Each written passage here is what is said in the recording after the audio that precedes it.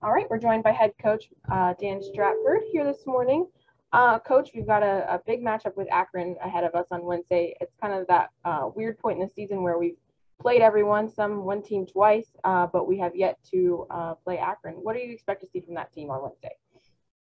Um, a, a, lot of what they're uh, what we associate with them really they're they're always a, a, football inside they're always a team that likes to keep possession and play an expansive style um, not too dissimilar to to part of the test we had against against Marshall so um, I've seen enough of them over the last uh, what, eight eight years or so now um, between my time as an assistant when when we first joined the MAC, and then uh, actually played them a couple of times when I was with the University of Charleston as well. So I know Jared and the staff uh, fairly well, and, and and I'm familiar with the successes they've had and the tradition they obviously have at Akron. So we're expecting a, a quality contest against a quality team, and uh, and as you said, yet to play them. So so looking forward to to the first time out um, against Akron and and seeing how we fare.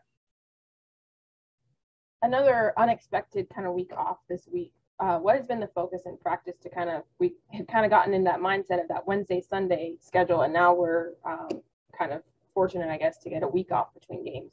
Uh, what's been the focus in practice this week? Yeah, exactly that. Um, I mean, obviously, reiterating to the guys now that um, you know there's there's been a lot of things that we've we've seen in these first seven games where we like the way we're trending and we like the improvements um, that we're seeing in our performances and and uh, you know we're, we're built up now for for this this last burst and this last gauntlet of, of four games and, and three in a row that are away from home it's it's just two weeks left and that that's kind of the message now and and from a training perspective it's making sure they're really professional and that when we ask when we ask them to be really switched on to what we're trying to do tactically and, and, and elements of the practice that uh, are really focused on on our continued improvement or preparation for a for an opponent um, that they're really focused and, and, really professional in those elements of the training sessions. And then at other times, because we have a bit more time, you know, allowing them to get what they need from the practice, um, whether it be a little more enjoyment and some fun games or some or some finishing exercises or different things of that nature.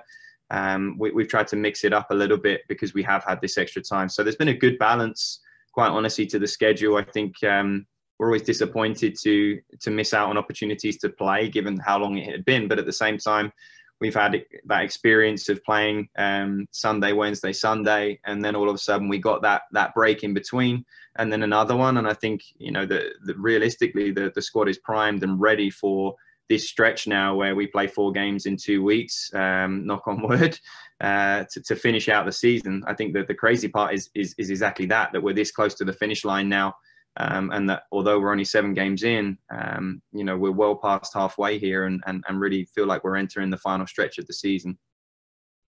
Yeah, it's crazy to think that we're we're almost to the end here.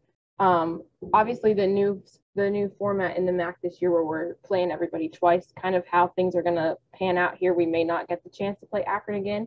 So, how much bigger do you think that makes the game on Wednesday? That we're going to maybe play everybody else twice, but maybe not Akron yeah, it's going to make a huge difference. Obviously, you know they they were picked to be the the, the winner of the conference. Um, they've had a couple of issues themselves with with COVID recently, and that's kind of interrupted their season. Um, obviously, you know difficult results against NIU um, in, in, both games, and, and, most recently this this Sunday. So this is a huge game for them, uh, and it's not often that, you look at this fixture and, and think to yourselves, you know, we have a we have an opportunity here to kind of leave them in the rearview mirror um, it, it's it's time for us to be incredibly ruthless, um, to to be really really clinical and, and execute on, on Wednesday, and know that we come out of, of that game with three points and, and the right side of the result. Um, mathematically speaking, I, I, think that kind of puts Akron to bed. I don't think they're in a situation in a position at that point to, to win the conference. So um, it, it's a huge game for them. It's a must-win game for them, but they're all going to be that way. If you look at the way the conference standings are, I think all but one team um, still have an opportunity to to win out and to win the conference. So.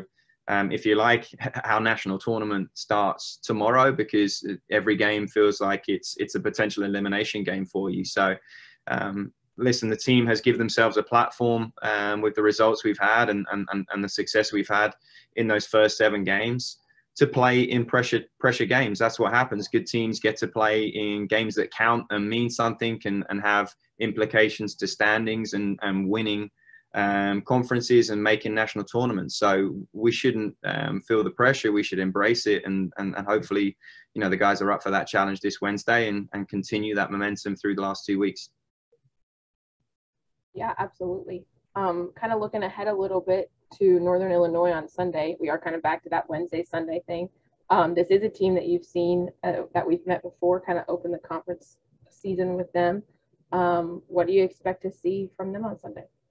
I think similar to us, they've improved. I think uh, upon reflection now that we're further along in the season, uh, perhaps we didn't appreciate how important and how good of a win that was um, with what our second game of the year. So um, I I feel as though their results, quite honestly, don't reflect the quality of team that they have.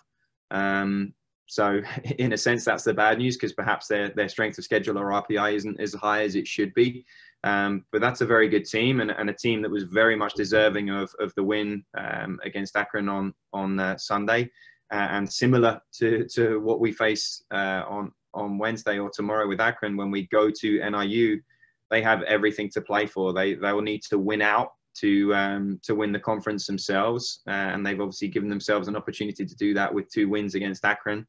So um, it's another game where it's a must-win for both teams, um, and and again a, a, ton to play for. So expecting a difficult contest, expecting a game that a, a team that will have a lot of confidence because of their recent results, and then obviously a, a difficult place to go and play, uh, a long travel.